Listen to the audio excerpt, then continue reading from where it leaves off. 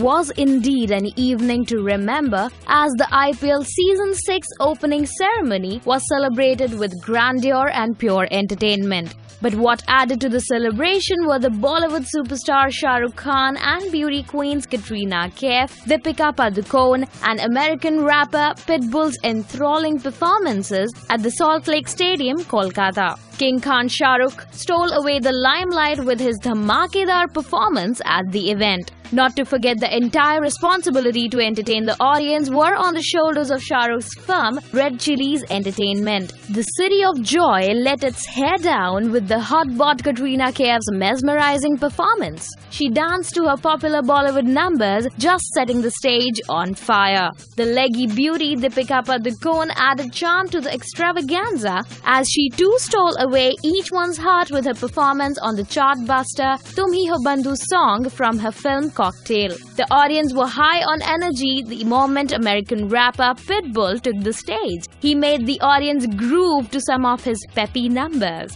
Very popular singer Disco King Bappi Lahiri and singer Usha Uthup too made the show spectacular with their yesteryear hit songs. Well, Shahrukh undoubtedly managed to make the IPL opening ceremony a much much grand affair. So how did you like the IPL 6 opening ceremony? Post in your comments below.